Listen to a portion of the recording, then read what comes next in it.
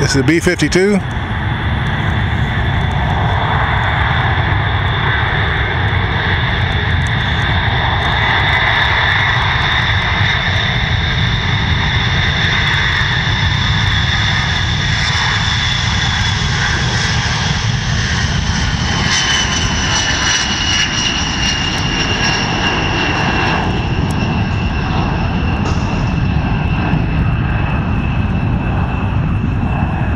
Taking off from Jacksonville International Airport.